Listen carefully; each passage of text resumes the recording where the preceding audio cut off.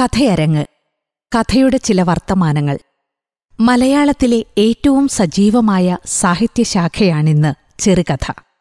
വേങ്ങിയിൽ കുഞ്ഞിരാമൻ നായനാരുടെ വാസനാവികൃതിയിൽ തുടങ്ങിയ കഥായാത്ര ഇന്ന് അബിൻ ജോസഫിന്റെ കല്യാശ്ശേരി തീസീസിൽ എത്തിനിൽക്കുകയാണ് പ്രഹരശേഷി കൊണ്ടും രാഷ്ട്രീയ ധ്വനികൾ കൊണ്ടും ഇത്രയേറെ സമ്പന്നമായ ഒരു സാഹിത്യശാഖ മലയാളത്തിൽ വേറെയുണ്ടോ എന്ന് സംശയിക്കണം. മലയാള കഥ സ്പർശിച്ചിട്ടില്ലാത്ത അനുഭവ മേഖലകളോ സാമൂഹിക സാംസ്കാരിക ഭൂമികകളോ വിരളമാണ്. ഓരോ കാലഘട്ടത്തിന്റെയും ശബ്ദമായി നിന്നുകൊണ്ട് ഒരു നൂറ്റാണ്ട് ചാടിക്കടന്ന രചനാ പാരമ്പര്യം മലയാള ചെറുകഥയ്ക്കുണ്ട്. പ്രമേയത്തിലും ആഖ്യാനത്തിലും നവീനത സൃഷ്ടിക്കുന്ന നമ്മുടെ കഥാകൃത്തുക്കൾ ലോകോത്തര നിലവാരത്തിലുള്ളവരാണ്. ഒരു കാലത്ത് സാഹിത്യവേദികളിൽ സജീവമായിരുന്ന കഥയരങ്ങുകൾ പതിയെ വിസ്മൃതിയിലാവുകയായിരുന്നു. കഥ പറച്ചിലിന്റെ ആ സവിശേഷ പാരമ്പര്യത്തെ തിരിച്ചുപിടിക്കാനുള്ള ഡബ്ല്യു എൽ എഫിന്റെ ഒരു ശ്രമമാണിത്. അഞ്ചു പതിറ്റാണ്ടുകളായി മലയാള കഥയിലെ യുവശബ്ദമായി നിന്നുകൊണ്ട് കഥയെഴുത്തിനെ നവീകരിക്കുകയും ഭാഷയിലും ഭാവുകത്വത്തിലും നവീനതകൾ നിറച്ചുകൊണ്ട് അപരിചിതവും നിഗൂഢവുമായ വഴികളിലൂടെ അനുവാചകനെ നടത്തിക്കൊണ്ടു പോവുകയും ചെയ്ത സക്കറിയ. മലയാള കഥയിൽ കുറുങ്കഥകൾക്ക് ആഗോളമാനം നൽകിയ പ്രിയ കഥാകാരൻ പി കെ പാറക്കടവ്. അഗ്നി എന്ന കഥയിലൂടെ രണ്ടായിരത്തിന്റെ തുടക്കത്തിൽ മലയാള കഥയെഴുത്തിൽ പെണ്ണെഴുത്തിന്റെ ദിശാമാറ്റം പ്രകടമാക്കിയ എസ് സിത്താര. എന്നിവരോടൊപ്പം മലയാള ചെറുകഥയിൽ പ്രമേയത്തിലും ആഖ്യാനത്തിലും പരീക്ഷണങ്ങൾ നടത്തുന്ന മൂന്ന് പോലെയുള്ള നോവലുകളിലൂടെ ഫാസിസത്തിന്റെ പുതുരൂപങ്ങളോട് നിരന്തരം കലഹിക്കുന്ന യുവ കഥാകൃത്ത് വി എച്ച് നിഷാദ് മോഡറേറ്ററാകുന്ന കഥയരങ്ങിലേക്ക് ഏവർക്കും സ്വാഗതം. പാനലിസ്റ്റുകൾ Zacharia P K Parakkadavu S Sithara. വാക്കുകളെക്കുറിച്ച് ഓർത്ത് ഉറങ്ങാതെ കിടക്കും. അപ്പോഴേക്കും പുറത്ത് ആറു മണിക്ക് ജോലിക്ക് കയറേണ്ട സൈറൻ ഉച്ചത്തിൽ മുഴങ്ങും. പാക്കിംഗ് വിഭാഗത്തിൽ വെച്ച് എത്ര രഹസ്യമായാണ് നിനക്കുള്ള കത്തുകൾ ഞാൻ ദിവസവും അയക്കുന്നതെന്ന് അറിയാമോ? മറ്റൊരിക്കൽ രാമകൃഷ്ണൻ എഴുതി ജെനി എനിക്കിപ്പോൾ നൂറ്റി പതിനേഴ് രൂപ ദിവസക്കൂലി കിട്ടും. എല്ലാം സ്വരൂപ കൂട്ടി വെച്ച് കുറച്ച് പൈസ ഞാൻ നിനക്ക് തരാം. ദിവസവും ചപ്പാത്തി വാങ്ങാൻ പൈസ വേണ്ടേ നിനക്ക്? മറ്റൊരു സന്തോഷ വാർത്ത കൂടിയുണ്ട് കേട്ടോ. ജയിൽ ചപ്പാത്തി വൻ വിജയമായി മാറിയതുകൊണ്ട് മാസത്തിൽ നാല് ദിവസം ഈ ജോലി ചെയ്യുന്ന തടവുകാർക്ക് ഇളവ് തരാൻ ജയിൽ അധികൃതർ തീരുമാനിച്ചിട്ടുണ്ടത്രേ. അങ്ങനെയെങ്കിൽ മൊത്തം ഒരു മാസത്തോളം എനിക്ക് ഇളവ് തരാൻ ജയിൽ അധികൃതർ തീരുമാനിച്ചിട്ടുണ്ട്. അങ്ങനെയെങ്കിൽ മൊത്തം ഒരു മാസത്തോളം എനിക്ക് ഇളവ് കിട്ടും. പതിനൊന്ന് മാസം തടവിൽ കിടന്നാൽ മതി. അതായത് ഇനി മൂന്ന് മാസങ്ങൾ കൂടി മതി എന്ന് അർത്ഥം. ചപ്പാത്തിയുടെ പ്രൊഡക്ഷൻ ഇപ്പോൾ തന്നെ ദിവസവും നാൽപ്പതിനായിരം കടക്കുന്നുണ്ട് അത്രയും ഇനിയും പതിനായിരങ്ങൾ കടന്നാൽ ഞങ്ങൾക്ക് കൂടുതൽ ഇളവുകളും ആനുകൂല്യങ്ങളും കിട്ടുമെന്നുമുണ്ട് വാർത്ത. ജയിലിലെ ചപ്പാത്തിക്ക് കൂടുതൽ ഡിമാൻഡ് ഉണ്ടാകാൻ നീ പ്രാർത്ഥിക്കണേ കൂട്ടുകാരി. മാഹി പള്ളിയിൽ പോയി ഒരു കൂടി മെഴുകുതിരി കത്തിക്കണം പറ്റിയാൽ എനിക്ക് വേണ്ടി പറശ്ശിനിക്കടവ് മുത്തപ്പൻ ക്ഷേത്രത്തിൽ ഒരു വെള്ളാട്ടവും കഴിക്കണം. ജെന്നിഫർ ഒരിക്കൽ എഴുതി ചോദിച്ചു ബഷീറിനെ വായിച്ചിട്ടുണ്ടോ? അദ്ദേഹത്തിന്റെ മതിലുകൾ എന്ന പുസ്തകം പറ്റിയാൽ വായിക്കണം കേട്ടോ. മറുപടി അവൻ എഴുതി നല്ല കഥ. ബഷീറിനെ വായിക്കാത്ത ആരാണ് ഈ ജയിലിലുള്ളത് ഇവിടുത്തെ സൂപ്പർ സ്റ്റാറാണ് ബഷീർ. ജയിലിൽ രാമകൃഷ്ണൻ വരുന്ന കത്തുകൾ വെൽഫെയർ ഓഫീസർമാർ കൗതുകത്തോടെയാണ് വായിച്ചിരുന്നത്. നിർവികാര നിർവികാര നിർഭരമായി ഇത്രയേറെ കത്തുകൾ ഒരു സ്ത്രീ എഴുതിയിട്ടും അവനൊരു മറുപടി കൂടി അയക്കാത്തതെന്ന് ഇടയ്ക്കെല്ലാം അവർ അത്ഭുതം കൂറുകയും അവനോട് ചോദിക്കുകയും ചെയ്തു. വെറുതെ ചിരിച്ച് കാട്ടുക മാത്രമാണ് രാമകൃഷ്ണൻ അപ്പോഴെല്ലാം ചെയ്തിരുന്നത്. ചപ്പാത്തിക്കുള്ളിൽ വെച്ച് താൻ കൈമാറിയതൊക്കെയും തന്റെ ഹൃദയമായിരുന്നെന്ന് രാമകൃഷ്ണൻ അറിയാമായിരുന്നു. ഏറ്റവും പാവം പിടിച്ച ഒരു മനുഷ്യ ഹൃദയം. ലോകത്തെ ഏറ്റവും മികച്ച പ്രണയലേഖനങ്ങൾ പ്രാണ പ്രാണന്റെ ശബ്ദം ചേർത്ത് ഒരു ചപ്പാത്തിയുടെ രൂപത്തിൽ നിർമ്മിക്കുകയായിരുന്നല്ലോ അവൻ. എന്നാൽ ഇവ കൈപ്പറ്റുന്നു എന്ന സൂചനകളൊന്നുമില്ലാതെ ചില ആത്മകഥകൾ പോലെയാണ് ജെന്നിഫറിന്റെ കത്തുകൾ രാമകൃഷ്ണനെ നിരന്തരം തേടി എത്തിയത്. ആഴ്ചയിൽ നാലോ അഞ്ചോ കത്തുകൾ അവൻ അവന് വേണ്ടി എഴുതി മറുപടിയായി അവൻ കൃത്യമായും ഏഴ് കത്തുകളും. ഏഴും ആറും ഏഴും പേജുകൾ എഴുതി കഴിഞ്ഞിട്ടും നീളുന്ന ഗോതമ്പ് മാവിന്റെ മണമുള്ള കത്തുകളിൽ ഒടുവിലായി അവൻ എപ്പോഴും എഴുതി ഇനിയും ഇനിയും. വൈകുമാത്രം മഴയെ അറിഞ്ഞു തുടങ്ങിയ ഒരു പുൽക്കൊടി ആകാശത്തിനോട് വീണ്ടും വീണ്ടും വെള്ളത്തിനായി കീഴുന്നത് പോലായിരുന്നു ആ പുലമ്പൽ. ഇനിയും ഇനിയും ഇനിയും. രാമകൃഷ്ണൻ അയച്ച കത്തുകൾ മുഴുവൻ പല പല പാർശ്വ കവറുകളിലായി ക്രമീകരിച്ച് ജെന്നിഫർ സൂക്ഷിച്ചു വെച്ചു. അവയ്ക്കുമേൽ വിവിധ മാസങ്ങളുടെ പേരുകൾ പല മഷികളിൽ അവൾ കുറിച്ചു വെച്ചിരുന്നു. ഉറക്കം കെട്ടാത്ത രാത്രികളെല്ലാം എല്ലാം അവ ആർത്തിയോടെ വായിച്ചാണ് അവൾ മനസ്സ് നിറച്ചിരുന്നത്. പല ദിവസങ്ങളിലും തലയ്ക്ക് മുകളെ കത്തുകൾ മഴ മഴയായി പെയ്യുന്ന ഒരു കാഴ്ച സ്വപ്നം കണ്ടുകൊണ്ടാണ് അവൾ ഉറങ്ങിയിരുന്നത്. ഇനി ഒരു മാസം കൂടി കഴിഞ്ഞാൽ രാമകൃഷ്ണൻ പുറത്തു വരുമെന്ന് അവൾക്കറിയാമായിരുന്നു. കാത്തിരിപ്പിന്റെ തകരമേൽക്കൂരയിൽ ആലിപ്പഴം പെയ്യാൻ ഒരു മാസം മാത്രം. പുറത്തു വരുമ്പോൾ ജീവിക്കേണ്ടുന്ന ജീവിതത്തെ പറ്റി രാമകൃഷ്ണനും അകത്തിരുന്ന് സ്വപ്നങ്ങൾ നെയ്യാൻ തുടങ്ങിയിരുന്നു.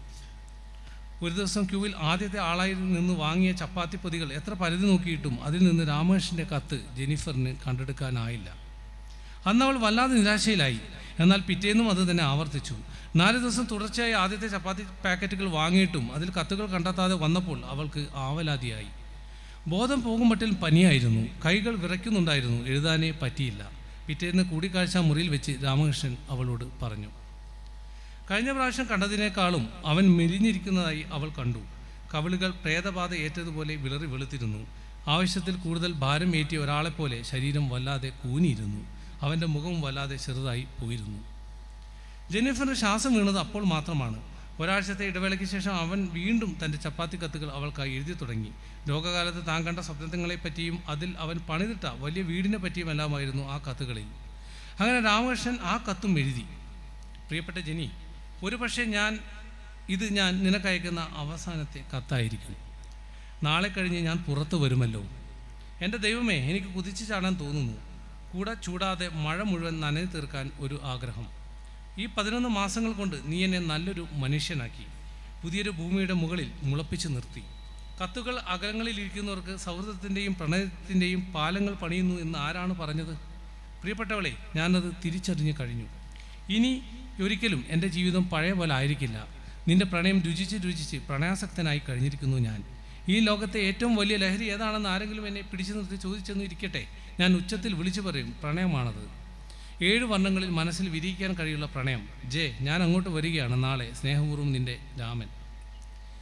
സെൻട്രൽ ജയിലിന്റെ വലിയ വാതിലൂടെ പുറത്ത് കടന്നപ്പോൾ തന്നെ ദൂരെ മരത്തണലിൽ നിൽക്കുന്ന ജെനിയെ രാമൻ കണ്ടു. അവൾ എന്നത്തെക്കാളും സുന്ദരിയായിരുന്നു. അവളുടെ കിളനും കൂടിയ ശരീരം ആകാശത്തിന് കീഴേ ആത്മവിശ്വാസത്തോടെ വളർന്നു നിൽക്കുന്ന ഒരു ഒറ്റ മരത്തെ ഓർമ്മിപ്പിച്ചു. മുഖത്ത് ആ കണ്ണട ഉണ്ടായിരുന്നില്ല. അതവ- അതവളുടെ ഭംഗി വർദ്ധിപ്പിച്ചു. വയലറ്റ് നിറമുള്ള ചുതി ചുരിദാറിനകത്ത് സൂര്യപ്രകാശത്തിൽ തിളങ്ങിയ ഒരു റോസാ ചെടിയെപ്പോലെ അവൾ തെന്നി നിന്നു. അവർ പതുക്കെ നടക്കുകയായിരുന്നു. പെരുമ്പറ കെട്ടിത്തുടങ്ങിയ രാമന്റെ ഹൃദയത്തിലേക്ക് ആലിപ്പഴം പോലെ പിന്നെ അവളുടെ വാക്കുകൾ ചിതറി വീഴാൻ തുടങ്ങി. രാമ നിന്റെ ഇന്നലത്തെ കത്ത് ഞാൻ പലതവണ വായിച്ചു.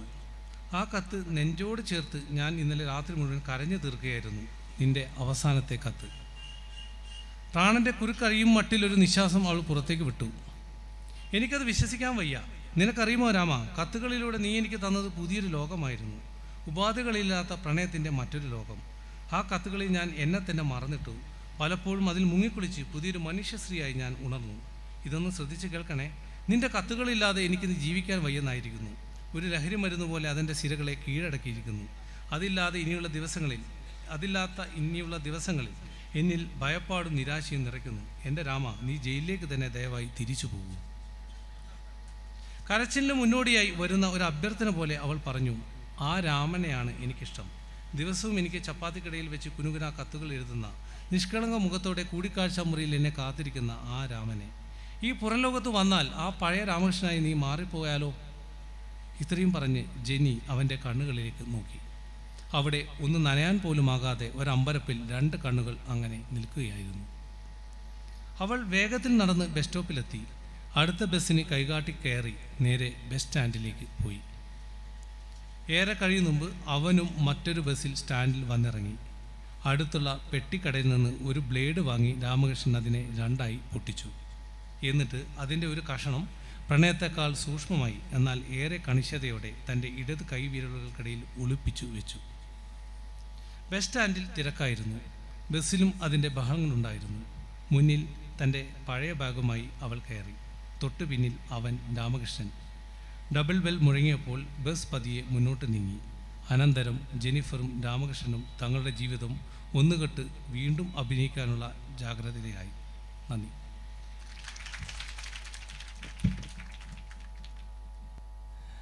എനിക്ക് തോന്നുന്നു നമ്മൾ കഥകൾ കഴിഞ്ഞു. ഇനിയിപ്പം കഥയുമായി ബന്ധപ്പെട്ട വർത്തമാനങ്ങളാണ്. സെക്രട്ടറി സാറിന് തന്നെ തുടങ്ങാൻ തോന്നുന്നു. കാരണം ഞാൻ സത്യം പറഞ്ഞാണ് ഞാൻ കുറേ കാലത്തിന് ശേഷം ഇങ്ങനെ കണ്ണിന്നിങ്ങനെ ചിരിച്ചിട്ട് കണ്ണീര് തുടച്ചോണ്ടിരിക്കുകയായിരുന്നു. സന്തോഷ കണ്ണീര്. അപ്പോൾ ഇത് എഴുതിയതൊരു അടിയന്തരാവസ്ഥ കാലത്താണെന്ന് സാർ പറഞ്ഞു. അടിയന്തരമായിട്ട് ബന്ധപ്പെട്ട് എന്താണ് അതുമായി ബന്ധപ്പെട്ട ചില ഓർമ്മകൾ പങ്കുവെക്കാൻ പറ്റുകയാണെങ്കിൽ ഇത് എവിടെയാണ് പബ്ലിഷ് ചെയ്ത് വന്നത്? ഈ കഥ എങ്ങനെയാണ് ഇതിന്റെ ഒരു സാറ് ഒരിക്കൽ എനിക്ക് ഓർമ്മയുണ്ട്. ഗൃഹലക്ഷ്മിക്ക് വേണ്ടിയിട്ട് ഒരു അഭിമുഖം നടത്താൻ വേണ്ടി ഞാൻ തിരുവനന്തപുരത്ത് സാറിന്റെ ഫ്ലാറ്റിൽ വന്നപ്പോൾ സാർ സാറിന്റെ എഴുത്ത് രീതികളൊക്കെ പറയുമായിരുന്നു. ഒരു കഥ എഴുതാൻ വേണ്ടി എടുക്കുന്ന ഡ്രാഫ്റ്റുകൾ. ആദ്യത്തെ പാരഗ്രാഫ് വരാൻ വേണ്ടി പല പ്രാവശ്യം മാറ്റി മാറ്റി എഴുതുന്നതിന്റെ ഒരു ശ്രമകരമായ ഉത്സാഹത്തെക്കുറിച്ചൊക്കെ സാർ പറയായിരുന്നു ഈ കഥയിൽ അത്തരം എന്തൊക്കെ ശ്രമങ്ങളാണ് സാർ നടത്തിയത്? അതിന്റെ ഒരു പശ്ചാത്തലം എന്താണെന്നുള്ള ശ്രമം പറയാം പറയാമോ? അടിയന്ത അടിയന്തരാവസ്ഥ തീരുന്നത് എഴുപത്തി ഏഴിലാണ് ഒരു പക്ഷേ ഇത് എഴുതുന്നത് എൺപതിലോ എൺപത്തൊന്നിലോ അങ്ങനെ ഒക്കെ എഴുപത്തൊമ്പതിലോ എൺപതിലോ ആയിരിക്കും ഡൽഹിയിൽ വെച്ചാണ് ഇത് എഴുതുന്നതാണ്. അപ്പം കാരണം ഞാൻ ഡൽഹിയിൽ തൊണ്ണൂറ്റി രണ്ടിലാണ് പോരുന്നത് അപ്പോൾ അടിയന്തരാവസ്ഥ യുടെ ഒരു കാലഘട്ടത്തിലൂടെ ഡൽഹിയിൽ ജീവിച്ചതിന്റെ കൂടി ഒരു അനുഭൂതി എന്റെ ഉള്ളിൽ വെച്ചുകൊണ്ട് പിന്തിരിഞ്ഞ് നോക്കി അതിനെ പരിഹസിക്കുകയായിരുന്നു. അടിയന്തരാവസ്ഥക്കാലത്ത് നമുക്ക് ഇത്തരം ഒരു സ്വാതന്ത്ര്യം ഉണ്ടായിരുന്നില്ല. അപ്പോൾ അടിയന്തരാവസ്ഥയ്ക്ക് ശേഷം ഇപ്പോൾ അടിയന്തരാവസ്ഥ ഓഫ് കോഴ്സ് അടിയന്തരാവസ്ഥയിലൂടെ നമ്മൾ ഇന്ന് കടന്നു പോവുകയാണ്. അപ്പോൾ അതുകൊണ്ടാണ് പഴയ അടിയന്തരാവസ്ഥ എന്തായിരുന്നു എന്നറിയാവുന്നവർക്ക് ഇന്നത്തെ അടിയന്തരാവസ്ഥ എന്താണ് എന്ന് അല്പമെങ്കിലും മനസ്സിലാകുകയുള്ളൂ താനും. അപ്പോൾ അന്ന് ആ ഞങ്ങളൊക്കെ അനുഭവിച്ച ആ ഒരു ഭീകരമായ ഒരു രാഷ്ട്രീയ അന്തരീക്ഷത്തോട് സ്വേച്ഛാധിപത്യം തൊട്ട് ഭീകരമായ കൊലകൾ കൂട്ടക്കൊലകളൊക്കെ അടക്കം പീഡനങ്ങളടക്കം അതിനോടുള്ള ഒരു പ്രതികരണമായിട്ട് അതിനെ പരിഹസിക്കുകയാണ് ചെയ്തത്. പരിഹസിക്കാതെ അതിനപ്പുറത്തോട്ട് നമ്മൾ വെല്ലുവിളിക്കുകയൊന്നും ചെയ്തിട്ടൊന്നും കാര്യമില്ല. കാരണം ഒരു വ്യക്തിക്ക് ഒരു സ്റ്റേറ്റിനെതിരെ ഒരു ഭരണകൂടത്തിനെതിരെ ഒരു വ്യക്തിക്ക് ഒന്നും ചെയ്യാൻ പറ്റില്ല. അന്നും ഇന്നും. അത് ഒരു സംഘടനയ്ക്ക് പോലും ഒരു പക്ഷേ ചെയ്യാൻ പറ്റില്ല. അത് ഒരു പക്ഷേ രാഷ്ട്രീയ പാർട്ടികൾക്ക് മാത്രമാണ് അത്തരം വെല്ലുവിളികൾ അനുവദിച്ചിട്ടുള്ളത്. അപ്പോൾ ഒരു വ്യക്തി എന്നുള്ള നിലയ്ക്ക് എന്റെ വളരെ എളിയ ഒരു പരിഹാസം മാത്രമാണ് ഇതിനകത്ത് ഉള്ളത്. പലപ്പോഴും നമ്മൾ പണ്ട് പ്രവചന സ്വഭാവത്തോടു കൂടി എഴുതിയ കഥകളായി മാറാറുണ്ട് കഥകൾ. അങ്ങനെ ഒരു കഥയായിട്ടാണ് ഇവിടെ ഇരുന്ന പലർക്കും അത് ഈ കഥ തോന്നിയത്. സാറ് ഇരുപത് ഇരുപത്തഞ്ച് വർഷങ്ങൾക്ക് മുമ്പ് എഴുതിയിട്ട് പോലും ഇപ്പം മഹാമാരെക്കുറിച്ച് പറയുമ്പോൾ അവർക്ക് ഈ വിമാനത്തിലല്ലാതെ പറക്കാനാവില്ല എന്ന് പറയുമ്പം നമ്മളെല്ലാം ആലോചിച്ചത് എന്താണെന്നുള്ളത് പ്രത്യേകിച്ച് പറയേണ്ട ആവശ്യമില്ല.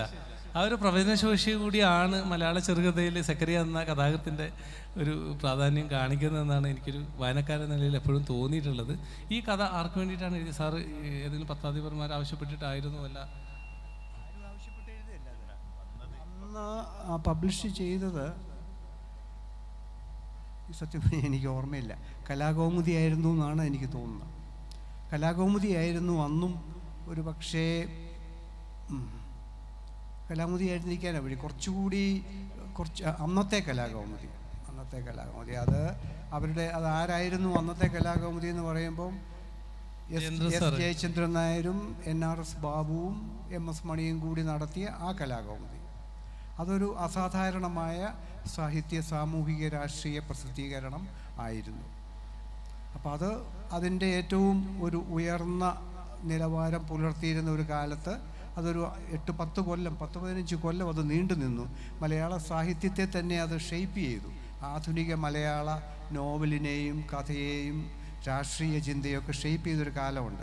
ആ കാലഘട്ടത്തിൽ കലാകൗമുദിക്ക് വേണ്ടിയിട്ടാണ് ഇത് എഴുതിയതെന്നാണ് എന്റെ ഓർമ്മ. ഒരു ചോദ്യം കൂടി. ഇപ്പം സാധാരണഗതിയിൽ ഇപ്പം എനിക്കൊന്ന് സിതാരയൊക്കെ കഥ എഴുതുന്ന പത്രാധിപന്മാരുടെ ഭയങ്കരമായിട്ടുള്ള നിർബന്ധം വേണം. ഒരു ഇരുപത്തഞ്ച് പ്രാവശ്യമൊക്കെ പത്രാധിപന്മാർ പറഞ്ഞാലേ സിതാരയൊക്കെ കഥ എഴുതാറുള്ളൂ. സാർ എങ്ങനെയാണ് ഈ കഥ എഴുതാൻ പത്രാധിപന്മാരുടെ നിർബന്ധം ആവശ്യമുണ്ടോ? അല്ലാതെ കഥ എഴുതണമെങ്കിൽ പത്രാധിപന്മാർ നിരന്തരം ഇല്ല. ഇപ്പോൾ പണ്ടൊന്നും ഒട്ടുമില്ലായിരുന്നു. ഇപ്പോൾ ഒരു പക്ഷേ മടിച്ചിരിക്കുന്നുണ്ടോ എന്ന് സംശയിക്കണം. ഇല്ലെങ്കിലും എഴുതും. കാരണം ഞാൻ വാർഷിക പതിപ്പുകൾക്ക് വേണ്ടി എഴുതാറില്ല. അപ്പോൾ പത്രാധിപരുടെ ആവശ്യപ്പെടലില്ല. അപ്പോൾ അത് വാർഷിക പതിപ്പുകളുടെ സമയത്താണ് പത്രാധിപന്മാർ ആവശ്യപ്പെടുന്നത്. വാർഷിക പതിപ്പുകൾ എഴുതുന്നത് എന്റെ അഭിപ്രായത്തിൽ മറ്റുള്ളവരുടെ അഭിപ്രായം എനിക്കറിയാൻ മേല. ഒരു എഴുത്തുകാരനെ സംബന്ധിച്ചിടത്തോളം ഒരു വമ്പിച്ച നഷ്ടക്കച്ചവടമാണ്. വാർഷിക പതിപ്പുകൾ സാധാരണഗതിയിൽ ആരും വായിക്കാറില്ല. അത് ഒരു വശത്തേക്ക് മാറ്റി വയ്ക്കാറേ ഉള്ളൂ. അപ്പോൾ അല്ലെങ്കിൽ ഒരു കൊല്ലം കഴിഞ്ഞവരുടെ അടുത്ത് മറിച്ച് നോക്കി അത് കണ്ടെങ്കിലായി. അപ്പോൾ ഒരു സാധാരണ മാതൃഭൂമിയുടെ ഒരു സാധാരണ ലക്കത്തിൽ ഒരു കഥ എഴുതിയാൽ കുറച്ച് പേരെങ്കിലും അത് വായിക്കാനുള്ള സാധ്യത വളരെ വലുതാണ് എന്നാണ് എന്റെ എന്റെ ഒരു തോന്നൽ എന്നോ വിശ്വാസം എന്നൊക്കെ പറയാം. അതുകൊണ്ട് ആ സമയം ഞാൻ കൊടുക്കുമ്പോൾ ആ വാർഷിക പതിപ്പുകളുടെ സമയത്തെങ്ങാനുമാണ് ഞാനൊരു കഥ കൊടുക്കുന്നതെങ്കിൽ ഞാൻ ഒരു കണ്ടീഷനെ വയ്ക്കാറുള്ളൂ. യാതൊരു കാരണവശാലും ഇത് വാർഷിക പതിപ്പിൽ പ്രസിദ്ധീകരിക്കാൻ പാടില്ല എന്ന് പറയും. അത്രയും അത്. അപ്പം ഇത് അങ്ങനെ ആരും ആവശ്യപ്പെട്ടിട്ട് ചെയ്തതല്ല ഇത് ഞാൻ. ഒരു ഒരു രസം തോന്നിയിട്ട് ചെയ്തതേ ഉള്ളൂ. എനിക്ക് വേറൊരു രസം തോന്നിയത് ഇതിന്റെ ടൈറ്റിലാണ് ഇപ്പം സാറിന്റെ പൊതുവേ പല കഥകളും ഇപ്പം ഞാനിവിടെ പറയായിരുന്നു.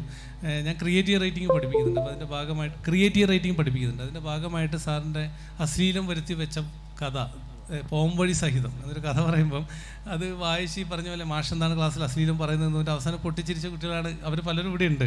ഉണ്ടായിട്ടില്ല. അപ്പോൾ എങ്ങനെയാണ് ഈ ടൈറ്റിലുകൾ കഥയുടെ തലവാ തലക്കെട്ടുകൾ എങ്ങനെയാണ് സക്കറിയ എന്ന എഴുത്തുകാരൻ കണ്ടെത്തുന്നത്? എങ്ങനെയാണ് അതിന്റെ അത് പലപ്പോഴും ഞാൻ കണ്ടിട്ടുള്ളത് ആ കഥയ്ക്കുള്ളിൽ തന്നെ ഒരു വാക്കോ രണ്ട് വാക്കോ മൂന്ന് വാക്കോ നമുക്ക് അതിനുള്ളിൽ നിന്ന് തന്നെ കണ്ടുപിടിക്കാൻ പറ്റും. കഥ എഴുതി കഴിഞ്ഞ് പലരും പലതരത്തിലാണ് ചെയ്യുന്നത്. പല ചിലർ കഥ ആലോചിക്കുമ്പോൾ തന്നെ അവർക്ക് അവ- അതിന്റെ തലക്കെട്ട് കിട്ടാറുണ്ട്.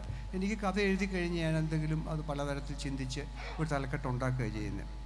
അപ്പോൾ അത് ഒറ്റ നോട്ടത്തിൽ രസകരമെന്ന് തോന്നുന്ന ഒരു തലക്കെട്ട് ഉണ്ടാക്കാനാണ് ഞാൻ ശ്രമിക്കുക. അക്കാലത്ത് കുറച്ച് നീണ്ട തലക്കെട്ടുകൾ ഉണ്ടാക്കിയിരുന്ന ഒരു ഒരു കാലമായിരുന്നു അത്. അതിനുശേഷം അതെ യേശുപുരം പബ്ലിക് ലൈബ്രറിയിലെ ഒരു പരാതി എന്നൊക്കെ പറഞ്ഞ്. ഇപ്പം ഞാനത് ചെയ്യാറില്ല. കാര്യം തോളും തലക്കെട്ടുകൾ ചുരുക്കാനാണ് ശ്രമിക്കുന്നത്. അതിലൊന്നും ഇതിനൊന്നും ഒരു പ്രാധാന്യവുമില്ല. കഥ മനുഷ്യർക്ക് വായിച്ച് ആസ്വദിക്കാൻ പറ്റേണ്ടതായിരിക്കണം എന്ന് മാത്രമാണ് പ്രാധാന്യം. വേറെ ഒന്നുമില്ല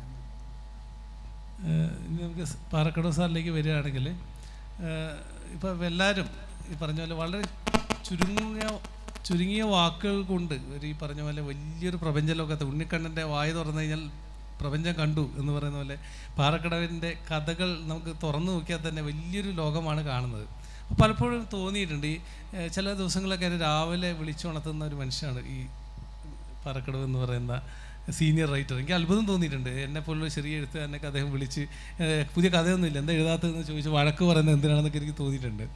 ആ സമയത്ത് എങ്ങനെയാണ് ഈ പിന്നെ പി കെ പാറക്കട എന്ന എഴുത്തുകാരന്റെ ഇത്തരം കഥകളൊക്കെ വരുന്നതിന്റെ ഒരു കംപ്ലീറ്റ് വർക്ക്സ് എന്റെ അടുത്തുണ്ട്. മലയാളത്തിലാണെങ്കിൽ അങ്ങനെ എഴുതുമ്പോൾ ഒരു ഓ എന്ത് എന്നുള്ള ഒരു വരും. പക്ഷേ ലോക സാഹിത്യത്തിൽ അത് ധാരാളമുണ്ട്. പാം സ്റ്റോറീസ് എന്ന് പറഞ്ഞിട്ട് യസുനാര കവബാത്തയുടെ ഒരു സമാഹാരമുണ്ട്. ഒരു പാരഗ്രാഫ് ഒരു പേജൊക്കെയാണ് അതിലുള്ളത്. അങ്ങനെയുള്ള ധാരാളം സമാഹാരങ്ങൾ ലോക സാഹിത്യത്തിൽ കാണാൻ കഴിയും. ഞാനത് കഴിഞ്ഞപ്പോൾ കുറേ എഴുതി കഴിഞ്ഞതിന് ശേഷമാണ് എന്റെ ഈ അന്വേഷണം തുടങ്ങുന്നത്. പക്ഷെ മലയാളത്തിൽ ഏറ്റവും മോശമായ ഒന്ന് മിനിക്കഥ എന്ന ഒരു പേര് കൊണ്ട് അത് തരംതിരിച്ചു എന്നുള്ളതാണ് മിനിസ് ഞാൻ പണ്ടേ പറയാറുണ്ട് മിനിസ് കേട്ടുണ്ട് പക്ഷെ മിനിക്കഥയില്ല എന്നുള്ളത്. അത് ഫ്ലാഷ് ഫിക്ഷൻ കുറച്ചുകൂടി മിന്നൽ കഥ എന്ന് പറഞ്ഞാൽ കുറെ കൂടി അത് അതിനൊരു തെളിച്ചം കിട്ടൂ എന്ന് തോന്നുന്നുണ്ട്. അത് എന്നെ സംബന്ധിച്ചിടത്തോളം വലിയ കഥ എഴുതുന്നത് പോലെ തന്നെ അതിനേക്കാൾ പ്രയാസമേറിയതാണ് ഈ ചെറിയ കഥ എഴുത്തും. ഈ ഇതൊരു സത്യം പറഞ്ഞാൽ വലിയൊരു പോരാട്ടമല്ല? എനിക്ക് തോന്നുന്നത് ചെറിയ കഥകളുമായിട്ട് വരിക അതിൽ മാത്രം നിരന്തരം തുടരുക മിനിക്കഥ എന്ന് കളിയാക്കപ്പെടുന്ന അവസ്ഥ പോലും അതിജീവിക്കുക. എങ്ങനെയാണ് ഇത്രയും വർഷം ഈ പറഞ്ഞ പോലെ ഇതിൽ മാത്രം മാറാതെ ഒരു വലിയ കഥയിലേക്കൊന്നും അങ്ങനെ ഒന്നോ രണ്ടോ ചെറിയ കഥകൾ. അതും വലിയ കഥകളൊന്നും പറയാൻ പറ്റില്ല. എങ്ങനെയാണ് അത് ഇത്രയും കാലം തുടർന്നു എനിക്ക് എഴുതി തുടങ്ങിയ കാലത്ത് തന്നെ ചില അപൂർവം ചില അതിന്റെ നിരീക്ഷണങ്ങൾ കിട്ടിയിരുന്നു. ഞാൻ മാതൃഭൂമി വരാന്ത പതിപ്പിൽ ഒരിക്കൽ സദ്യ എന്ന് പറഞ്ഞൊരു കഥ എഴുതിയിട്ടുണ്ട്. സാധാരണ സാധാരണ നമ്മുടെ നാട്ടിലെ മുസ്ലിം അന്തരീക്ഷത്തിൽ മരിച്ചു കഴിഞ്ഞാൽ മൂന്നാമത്തെ ദിവസം അവിടെ ഭീകരമായ വിഭവങ്ങൾ ഒരുക്കിയിട്ട് കൊടുക്കൂ. അപ്പോഴൊരു കുട്ടി ഒരിക്കലും ഭക്ഷണം കാണാത്തൊരു കുട്ടി വളരെ ചെറിയൊരു കുട്ടി ഈ അമ്മയോട് ചെന്ന് ചോദിക്കുകയാണ് ഉമ്മ ഉമ്മ എപ്പോഴാ മരിക്കാന്ന്? എന്നിട്ട് വേണം എന്നുള്ള ഒരു കഥയായിരുന്നു. അപ്പോൾ മുണ്ടൂർ കൃഷ്ണൻകുട്ടി മാഷി എനിക്കൊരു കത്തെഴുതി എന്തിന് മഹാഭാരതം? ഇതാണ് കഥ. എന്ന് മാത്രമേ കാർഡിലുണ്ടായിരുന്നുള്ളൂ. വളരെ കാലങ്ങൾക്ക് മുമ്പാണ്. അപ്പോൾ എന്റെ തെരഞ്ഞെടുത്ത കഥകൾ ഡി സി ബുക്സ് പ്രസിദ്ധീകരിച്ചപ്പോൾ എന്നോടൊരു ആമുഖം എഴുതാൻ പറഞ്ഞപ്പോൾ ഞാൻ പറഞ്ഞു ആ കൈപ്പടിയിൽ ആ കത്ത് കൊടുത്താൽ മതി വേറൊന്നും വേണ്ട. അങ്ങനെയാണ് ആ സമാഹാരത്തിലുള്ളത്. അങ്ങനെയുള്ള അനുഭവങ്ങൾ ഉണ്ടായിട്ടുണ്ട്. എന്തുകൊണ്ടാണെന്ന് അറിയില്ല. ഇപ്പോഴ് ഇത് സ്വീകരിക്കപ്പെട്ടിട്ടുണ്ട്. ഇപ്പോൾ എട്ടാം ക്ലാസ്സിലെ ടെക്സ്റ്റ് ബുക്കിലെ ഒരു ചെറിയ കഥയാണ് ആദ്യം തന്നെ ഉള്ളത്. ഈ അതുപോലെ ആറിലും ഏഴും കുട്ടികൾക്ക് പഠിക്കാനുണ്ടായിരുന്നു കോളേജുകളിലൊക്കെ. അങ്ങനെ ഈ പുതിയ ഈ ഇതിന് ഒരുപാട് മറ്റ് കഥകൾ സക്കറിയ പറഞ്ഞതുപോലെ ആളുകൾ ആസ്വദിക്കുക കൂടുതൽ എത്തുക എന്നുള്ളൊരു കഥയുടെ ഒരു വലിയ ഘടകം തന്നെയാണ്. അപ്പോൾ ഇതിന് ഒരുപാട് ഈ പുതിയ കാലത്ത് വോൾ ഹാങ്ങിങ് സ്റ്റോറീസ് എന്ന് പറഞ്ഞത് നമ്മുടെ ചുവരിൽ തൂക്കി വെക്കാൻ പറ്റും. ഈ ടെക്നോളജി ഉപയോഗിച്ച് കൂടുതൽ ആളുകളിലേക്ക് എത്തിക്കാൻ പറ്റും. അങ്ങനെയൊക്കെയുള്ള ഒരു ഗുണം ഇതിനുണ്ട് എന്ന് എനിക്ക് തോന്നുന്നു. എപ്പോഴെങ്കിലും ഈ പറഞ്ഞ പോലെ ഒന്ന് രണ്ട് നോവലുകൾ എഴുതിയിട്ടുണ്ട്. അല്ലാതെ ഈ രൂപം മാറണം തോന്നിയിട്ടുണ്ടോ? അങ്ങനെ തോന്നിയിട്ടില്ല. കാരണം ഈ ഇങ്ങനെ എഴുതുന്നവർ അധികം ഇല്ലാത്തത് കൊണ്ടായിരിക്കും എനിക്ക് അങ്ങനെ തന്നെ തുടരാൻ തോന്നിയതെന്ന് എനിക്ക് തോന്നുന്നത്. ആ നോവലിലും ഞാൻ വ്യത്യസ്തമായൊരു സമീപനം സ്വീകരിച്ച് ഇടിമിന്നലുകളുടെ പ്രണയം എന്ന് പറയുന്ന ഒരു നോവൽ പലസ്തീൻ പശ്ചാത്തലത്തിൽ പലസ്തീൻ കവിതകളും ഇതൊക്കെ ഉൾക്കൊള്ളിച്ചുകൊണ്ടുള്ള ഈ ചെറിയ കഥകളുടെ പാറ്റേണിൽ എഴുതിയ ഒരു നോവലുമായിരുന്നു അത്. അതിനും ഒരു വ്യത്യസ്തമായ രൂപം വേണമെന്നുള്ള ഒരു ചിന്ത ഉണ്ടായിരുന്നു. എങ്ങനെയാണ് ഈ കഥകൾക്കൊക്കെ പ്രചോദനം ഇവിടെ നിന്നാണ് വരുന്നത്? കാരണം പലപ്പോഴും ഒറ്റവരി കഥകൾ രണ്ടുവരി കഥകൾ മിന്നൽ കഥകൾ ഇതൊക്കെ വരുന്നുണ്ട്. ഇത് എവിടെ നിന്നാണ് ഈ മിന്നൽ കിട്ടുന്നത്? അത് നമ്മുടെ നാട്ടിൽ സക്കരിയ മാഷ പറഞ്ഞ പോലെ എവിടെന്നെങ്കിലും ഇങ്ങനെ യന്ത്രം പതിപ്പിച്ചിട്ട് അല്ല നമ്മുടെ രണ്ട് തരത്തിലുണ്ട്. ഒന്ന് ഞാൻ പറയാറുണ്ട് ഈ ഗബ്രിയേൽ മാലാക്ക എനിക്ക് കഥകൾ തരുമെന്നുണ്ട് ഞങ്ങൾ ജിബിരിയിൽ എന്ന മലക്ക് നബിക്ക് ഇത് കൊടുത്തതുപോലെ എനിക്ക് ചില കഥകൾ തരുമെന്ന് ഞാൻ പറയാറുണ്ട്. മറ്റ് ഇന്ന് ഇന്ത്യയിൽ ജീവിക്കുന്ന വർത്തമാന കാലാവസ്ഥയിൽ നിന്ന് ഒരു എഴുത്തുകാരന് ചിലപ്പോൾ എഴുതേണ്ടി വരുന്ന ചെറുതുണ്ട്. കാരണം നമ്മുടെ വല്ലാത്തൊരവസ്ഥയിലാണ് നമ്മൾ ജീവിക്കുന്നത്. ആയിരത്തി തൊള്ളായിരത്തി നാൽപ്പത്തി എട്ട് ജനുവരി മുപ്പതിനായിരുന്നു ഇന്ത്യയിൽ ആദ്യത്തെ ഭീകരാക്രമണം നടന്നത്. അത് ആ നടത്തിയ വ്യക്തിയുടെ പേര് നാഥുറാം ഗോഡ്സെ എന്നാണ്. മഹാത്മാഗാന്ധിയുടെ വധായിരുന്നു ഇന്ത്യ സ്വതന്ത്ര ഇന്ത്യയിൽ നടന്ന ആദ്യത്തെ ഭീകര ഭീകരാക്രമണം. ആ ഗോഡ്സയെ പുകഴ്ത്തുകയും ഗാന്ധിജിയെ തമസ്കരിക്കുകയും ചെയ്യുന്ന ഒരു ലോകത്ത്. ഈ ഗോഡ്സെയുടെ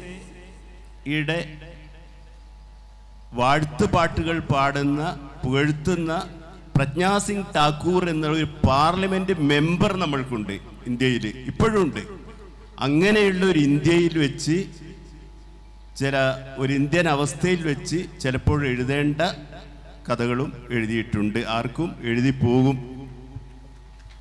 എനിക്ക് അടുത്തായിട്ട് ചോദിക്കാനുള്ള രണ്ടുപേരോടായിട്ടാണ്. സെക്രട്ടറി സാറോടും പാർക്കടോ സാറോടായിട്ടാണ് കാരണം ഇത്രയും രാഷ്ട്രീയ ധ്വനികളുള്ള അല്ലെങ്കിൽ അഗ്നിപ്രവാഹമുള്ള കഥകൾ എഴുതുന്നവരാണ് ഇവർ രണ്ടുപേരും. സെക്രട്ടറി സാറിന് എനിക്കറിയാം പ്രഭാഷണങ്ങൾ പലപ്പോഴും നടത്തുമ്പോഴും കയ്യേറ്റങ്ങൾ അടക്കമുള്ള പയ്യന്നൂർ അടക്കം ഉണ്ടായിട്ടുണ്ട്. പക്ഷേ കഥകൾ എഴുതിയതിന്റെ പേരിൽ സെക്രട്ടറി സാറിനോടാണ് എനിക്ക് തോന്നുന്നു പിന്നെ കണ്ണാടി കാണുമ്പോളോ എഴുതിയ സമയത്താണെന്ന് തോന്നുന്നു. കഥയുടെ പേരിൽ ഇങ്ങനെയുള്ള അനുഭവങ്ങൾ എന്തൊക്കെയാണ് ഈ ഇല്ല എനിക്ക് തോന്നുന്നു ഈ അത്തരത്തിൽ ഒരു കഥ എനിക്ക് ഓർമ്മയുണ്ട്. രണ്ട് പത്രാധിപന്മാരെങ്കിലും പ്രസിദ്ധീകരിക്കാൻ മടിച്ച് തിരിച്ചയച്ച് എന്റെ സാധാരണ എനിക്ക് അങ്ങനെ അധികം കഥകളൊന്നും തിരിച്ചു വരാറില്ല. പക്ഷേ ഇത് തിരിച്ചയച്ച ഒരു കഥയുണ്ട്. പക്ഷേ അത് അവസാനം കലാകൗമുദി അത് പ്രസിദ്ധീകരിച്ചു. അപ്പം പത്രാധിപന്മാരെ ഭയപ്പെടുത്തേണ്ട ഒരു കാര്യവും അതിലുണ്ടെന്ന് ഞാൻ കരുതിയില്ല. കന്യാകുമാരി എന്ന് പറഞ്ഞൊരു കഥയായിരുന്നു അത്.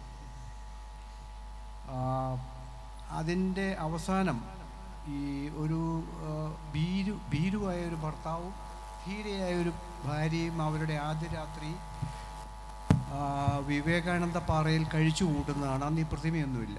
കഴിച്ചു കൂട്ടുന്നതാണ് അതിന്റെ ഒരു ഒരു അതിന്റെ അവസാനത്തെ ഭാഗം അപ്പം അത് അന്ന് ഒരു മുപ്പത് കൊല്ലം മുമ്പ് അത് പ്രസിദ്ധീകരിക്കാൻ പത്രാധിപന്മാർക്ക് പേടി ഉണ്ടായിരുന്നു അപ്പോൾ ഇന്ന് എന്തുമാത്രം പേടി ഉണ്ടായിരിക്കുമെന്ന് നമുക്ക് ഊഹിക്കാവുന്നതേ ഉള്ളൂ. അപ്പോൾ അതൊരു എന്റെ ഒരു അനുഭവമാണ്. പിന്നെയുള്ളത് കണ്ണാടി കാണുമ്പോളും എന്നുള്ള ഒരു യേശുവിനെ ഒരു കാമുകനാക്കി കാണിച്ചു എന്നുള്ളതിന്റെ പേരിൽ ഉണ്ടായ ക്രിസ്ത്യാനികളിൽ നിന്നുണ്ടായ ആക്രമണങ്ങൾ. അതൊന്നും ഈ ഭീഷണി അത് എന്താ പറയേണ്ടത് അനോണിമസ് കോൾസ് ഫോണിൽ വിളിച്ച് ചീത്ത വിളിക്കുക കൊന്നുകളയെന്ന് പറയുക ഇങ്ങനെയൊക്കെയുള്ള കാര്യങ്ങളൊക്കെ നടന്നുള്ളൂ. അടിച്ചും തള്ളിയും ഇടിച്ചുമൊന്നുമില്ല അപ്പോൾ അത് അത്രയൊക്കെ അതല്ലാണ്ട് വേറൊന്നും നടന്നിട്ടില്ല. പിന്നെ ഒരു പ്രസംഗം പറഞ്ഞതിന്റെ പേരിൽ ഡി വൈ എഫ് ഐ പയ്യന്നൂരിൽ നിന്ന് തള്ളുകയോ ഉന്തുകയൊക്കെ ചെയ്തേ ഉള്ളൂ. അത് സാരമില്ല. ഇതെല്ലാം നമ്മൾ ജനാധിപത്യം. ആർക്കും ആരെയും തള്ളാം. ആർക്കും ആരെയും ഉന്താം.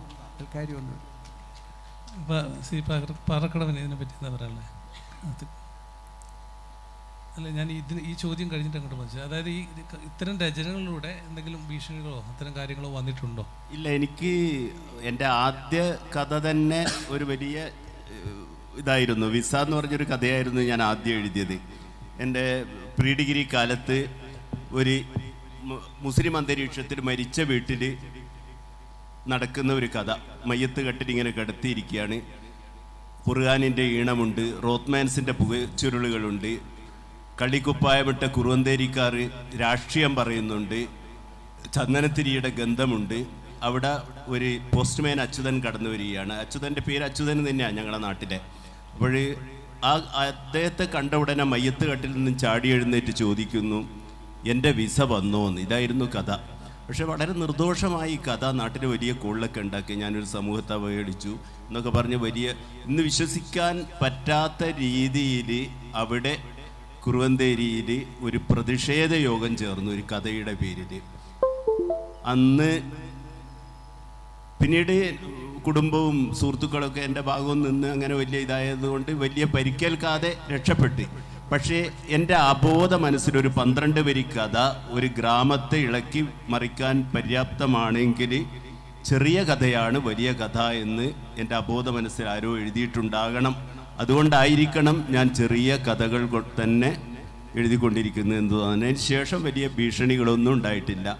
ആദ്യ കഥയിൽ നിന്ന് തന്നെ തുടക്കം ഇങ്ങനെയായിരുന്നു. പിന്നീട് അതേ സ്ഥലത്ത് വെച്ച് തന്നെ എനിക്ക് അവരൊരു സ്വീകരണമൊക്കെ തന്നു പിൽക്കാലത്ത്. ഒരു വരാന്ത പതിപ്പിൽ അക്കാലത്ത് സൽമാൻ റുഷ്ദി കുറുന്തേരിയിൽ എന്ന് പറഞ്ഞൊരു വലിയ ഫീച്ചറൊക്കെ വന്നിരുന്നു. ഒക്കെ ഇപ്പോഴും ഓർക്കാൻ രസമുണ്ട്. പിന്നെ വലിയ ഒരു അങ്ങനെയുള്ള യാതൊന്നും ഉണ്ടായിട്ടില്ല.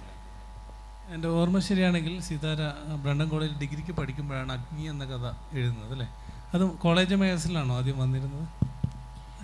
അത് ഞാൻ പ്രസ് അക്കാദമിയിൽ ജേർണലിസം പഠിച്ചുകൊണ്ടിരിക്കും ഇരുപത്തി മൂന്നാമത്തെ വയസ്സിലാണ് അഗ്നി എന്നുള്ള കഥ വരുന്നത്. അത് ഭാഷാഭൂഷണിയിലാണ് പ്രസിദ്ധീകരിച്ചു വന്നത്. ബന്ധപ്പെട്ട അത് അതിന്റെ പേരിൽ എനിക്ക് ഏറ്റവും അധികം സ്നേഹം ഇപ്പോഴും കിട്ടിക്കൊണ്ടിരിക്കുന്ന ഒരു കഥയാണ് അഗ്നി. അതുപോലെ തന്നെ ഏറ്റവും അധികം ദേഷ്യവും വെറുപ്പും ഒക്കെ ആ കഥയുടെ പേരിൽ കിട്ടിയിട്ടുണ്ട്. ഇപ്പോൾ ഇവിടെ ഈ ഭീഷണിയുടെ കാര്യം പറഞ്ഞത് അഗ്നി എന്ന കഥ എഴുതിയതിന്റെ പേരിൽ ഭീഷണി കത്തുകൾ കൊന്നുകളയും ബലാത്സംഗം ചെയ്യും. സ്ത്രീയാണല്ലോ. ബലാത്സംഗം ചെയ്യും എന്നുള്ള അതും അത് ഐറണി എന്ന് വെച്ചാൽ ആ കഥ അതിനെ പറ്റിയുള്ള ഒരു കഥയായിരുന്നു. ആ രീതിയിലുള്ള കത്തുകളൊക്കെ വന്നിട്ടുണ്ട്. പിന്നെ ആ സമയത്ത് ഈ സോഷ്യൽ മീഡിയ അത്ര സജീവ അത്ര സജീവം എന്നല്ല തീരെയില്ല അതുകൊണ്ട് തന്നെ ഇപ്പോൾ ഉള്ള പോലെയുള്ള സൈബർ ആക്രമണങ്ങളൊന്നും ഉണ്ടായില്ല. ഇപ്പോഴും മറ്റായിരുന്നെങ്കിൽ ആ രീതിയിലുള്ള അതും നേരിടേണ്ടി വന്നേനെ. പക്ഷേ ആ സമയത്ത് കത്തുകൾ കത്തുകളിലൂടെ ഉമ കത്തുകൾ ഫോണുകൾ അങ്ങനെയൊക്കെ ഒരുപാട് നെഗറ്റീവ് ഇത് വന്നിട്ടുണ്ട്. അതുപോലെ തന്നെ സ്നേഹം. ഇന്നും ഞാൻ വളരെ കുറച്ച് മാത്രം എഴുതുന്ന ഒരു വ്യക്തിയാണ്.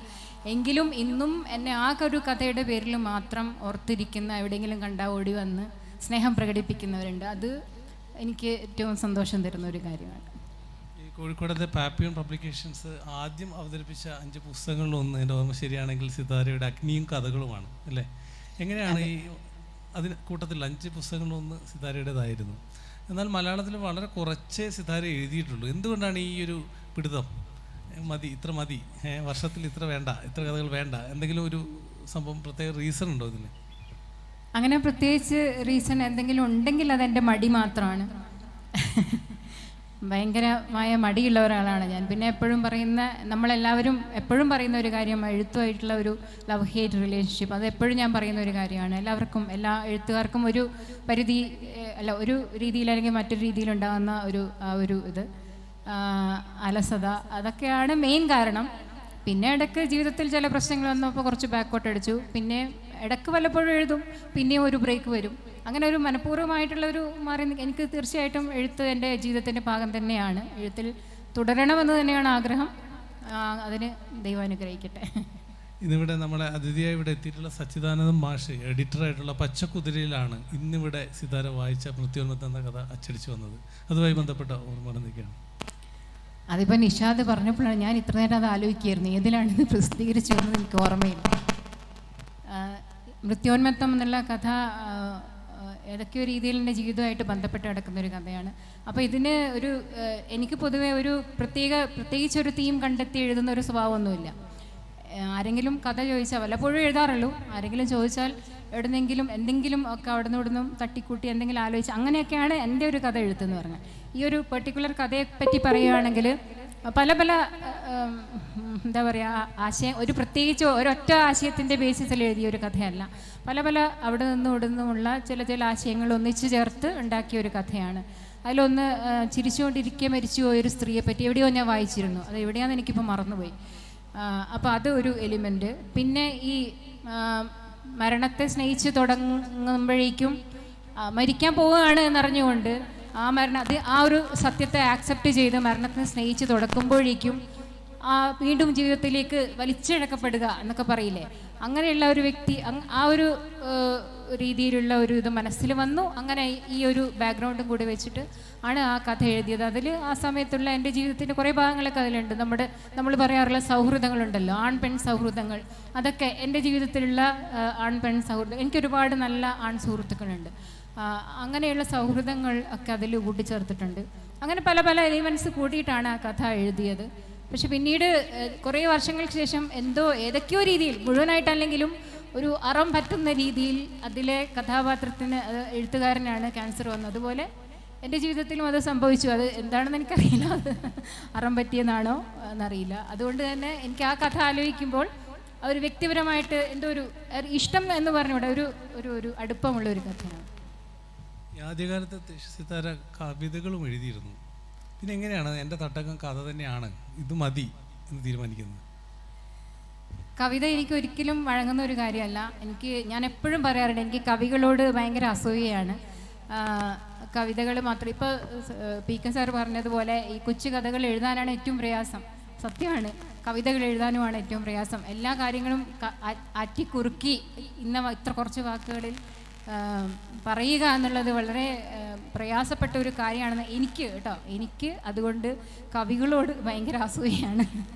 അപ്പോൾ ഞാൻ എഴുതിയതൊന്നും കവിതയാണെന്ന് ഇന്നും ഞാൻ വിശ്വസിക്കുന്നില്ല. തുടക്കത്തിൽ കവിത എഴുതിയിട്ടുണ്ട്. കവിതയിലാണ് തുടങ്ങിയത്. പക്ഷേ എങ്കിൽ പോലും എനിക്കതിലൊട്ടും ഒരു സംതൃപ്തി തോന്നിയിരുന്നില്ല. സ്വന്തമായിട്ടൊരു തൃപ്തി തോന്നുമല്ലോ അത് അത് കഥകളിലും ഇല്ല. എന്നാലും കഥകളിലൊട്ടും ഉണ്ടായിരുന്നില്ല. അതുകൊണ്ട് കഥ എഴുതി തുടങ്ങിയപ്പോൾ പിന്നെ അതിൽ തന്നെ പോയത് അങ്ങനെയാണ്. ഇപ്പോഴും എനിക്ക് കവിത എന്നുള്ളത് ഞാൻ നമ്മൾ ദൂരെ നിന്ന് ഒരു ആരാധനയോടെ നോക്കി കാണുന്ന ഒരു സാധനം മാത്രമാണ്. കവിത എന്ന സാഹിത്യ രൂപത്തെ സെക്രട്ടറി സാർ ഏതെങ്കിലും രീതിയിൽ സമീപിക്കാൻ ശ്രമിച്ചിട്ടുണ്ടോ? കവിത എഴുതാനോ മറ്റോ ശ്രമിച്ചിട്ടുണ്ടോ? ആദ്യകാലത്ത് ഇല്ല. അതെന്തുകൊണ്ടാണ് സർ? സിത്താര പറഞ്ഞ കാര്യം തന്നെ. അത് അത് വേറൊരു എനിക്ക് ഞാൻ ഗദ്യകാരനാണ് ബേസിക്കലി ഗദ്യം എഴുതാൻ കഷ്ടപ്പെട്ട് പഠിച്ചിട്ടുണ്ട്. വളരെ കഷ്ടപ്പെട്ട് പഠിച്ചതാണ്. കവിത വായി പണ്ട് ഈ പാഠപുസ്തകങ്ങളിലാണ് ഞാൻ കവിത വായിച്ചിട്ടുള്ളത്. പിന്നീട് രണ്ട് മൂന്ന് മൂന്നാൽ പേരെ ബാലേന്ദ്രൻ ചുള്ളിക്കാട് വൈലോപ്പള്ളി ഇടശ്ശേരി ഇങ്ങനെ എനിക്ക് പ്രിയപ്പെട്ട ഈ ശങ്കരക്കുറുപ്പ്. ഇപ്പോൾ ഒന്നും ആർക്കും ഇഷ്ടമുള്ളവരായിരിക്കില്ല ഇവരാരും. ഇവരൊക്കെ എന്റെ പ്രിയപ്പെട്ട കവികളാണ്. അതിനപ്പുറത്തോട്ട് എനിക്ക് കവിതയുമായിട്ട് വലിയ ബന്ധമൊന്നും ഇല്ല. സച്ചിദാനന്ദനെ ഞാൻ ഏത് കവിത എഴുതിയാലും ഞാൻ വായിക്കും. അപ്പം ഇങ്ങനെയുള്ള ഒരു ഒരു കാര്യം സച്ചി അവിടെ അപ്പുറത്തെ വെന്യൂവിൽ എവിടെ ഇരിപ്പുണ്ടെന്ന് തോന്നുന്നു. അതെ. അപ്പോൾ അതല്ലാതെ കവിത എനിക്ക് കൈകാര്യം ചെയ്യാൻ പറ്റുന്ന ഒരു ഇതല്ല. എനിക്ക് തോന്നുന്നു കവിത എഴുതുകയാണെങ്കിൽ വൃത്തനിബദ്ധമായി തന്നെ എഴുതണം എന്നാണ് ഞാൻ ആഗ്രഹിക്കുന്നത്. പക്ഷേ വൃത്തനിബദ്ധമല്ലാത്ത എത്രയോ നല്ല കവിതകളുണ്ട്. അതുകൊണ്ട് ഇതിനെപ്പറ്റി ഒന്നും പറയാൻ പറ്റുന്നില്ല. എനിക്ക് തോന്നുന്നു നമ്മുടെ സമയം അതിക്രമിച്ചതുകൊണ്ട് ഒരു അല്ല അല്ല അത് ക്ഷമിക്കണം. കുറച്ച് സമയത്തേക്ക് ഞാൻ മോഡറേറ്ററുടെ റോൾ ഏറ്റെടുക്കുകയാണ്. അപ്പോൾ നിഷ നിഷാദും തന്റെ കഥയെപ്പറ്റി എന്തെങ്കിലുമൊക്കെ സംസാരിക്കുക. കാരണം വളരെ നല്ലൊരു കഥയായിരുന്നു. നമ്മളെല്ലാവരും എൻജോയ് ചെയ്ത ഒരു കഥയാണ്. അപ്പോൾ അതേപ്പറ്റി നിഷാദ് എന്തെങ്കിലും കൂടെ പറഞ്ഞിട്ട് നമുക്ക് അവസാനിപ്പിക്കാം. വ്യക്തിപരമായിട്ട് എനിക്ക് വളരെ ഒരു സന്തോഷമുള്ളത് ഇത് പി കെ പാറക്കടവ് സാറുള്ള ഒരു വേദിയിൽ തന്നെ അവതരിപ്പിക്കാൻ പറ്റിയെന്നുള്ളതാണ് കാരണം ഈ കഥ പ്രസിദ്ധീകരിച്ചത് പി കെ പാറക്കടവ് സാർ പ്രസാധിപരായിരുന്നുള്ള മാധ്യമ വീക്കിലായിരുന്നു അപ്പോൾ ഈ കഥ വന്നിട്ട് ഒരാഴ്ച കഴിഞ്ഞു തോന്നുന്നു. ഒരാഴ്ച അല്ല പിറ്റേന്ന് മുതൽ നിരന്തരം കോളുകൾ വരുന്നു. അപ്പോൾ എനിക്ക് വലിയ അത്ഭുതം തോന്നിയൊരു കാര്യം മനോജ് യാദവേദർ എന്ന എഴുത്തുകാരനായിട്ട് ഞാൻ നല്ല ബന്ധമുണ്ട്. പക്ഷെ ഒരിക്കലും ഞാൻ അദ്ദേഹത്തോട് ഞാനൊരു എഴുത്തുകാരനാണെന്ന് പറഞ്ഞിരുന്നില്ല. ഒരു നിഷാദ് വിളിക്കുന്നൊരു നിഷാദ്. അപ്പോൾ ഈ കഥ വന്ന സമയത്ത് എപ്പോഴും വിളിക്കുമ്പം എന്നോട് ഇനിഷ്യൽ ഏതാണെന്ന് ചോദിച്ചു. എടോ നീയാണോ? ഈ വി എച്ച് നിഷാദാണോ എന്നെ വിളിക്കുന്നതെന്ന് ചോദിച്ചത്? വലിയൊരു അംഗീകാരമായിട്ട് ഞാൻ എപ്പോഴും മനസ്സിൽ കരുതും. പിന്നെ എത്രയോ കോളുകൾ ഒരു പക്ഷേ എനിക്ക് ഏറ്റവും കൂടുതൽ കോളുകളും കത്തുകളും അന്നും ഇന്നും കിട്ടിക്കൊണ്ടിരിക്കുന്ന ഒരു കഥ ചപ്പാത്തി കഥയാണ്. അതിന് ഇ പി സുഷമ അവാർഡ് കിട്ടിയിരുന്ന ആ വർഷത്തെ. അത് കഴിഞ്ഞ് കുറച്ച് ദിവസം കഴിഞ്ഞപ്പോൾ ഒരു മലയാളത്തിലെ പ്രമുഖനായിട്ടുള്ള ഒരു സംവിധായകൻ വിളിച്ചിട്ട് ഈ കഥ ആർക്കും കൊടുക്കരുത്. ഇത് നമുക്ക് സിനിമയാക്കണം എന്ന് പറഞ്ഞ് എന്നെ കൊണ്ട് അത് തിരക്കഥയാക്കിപ്പിച്ചു.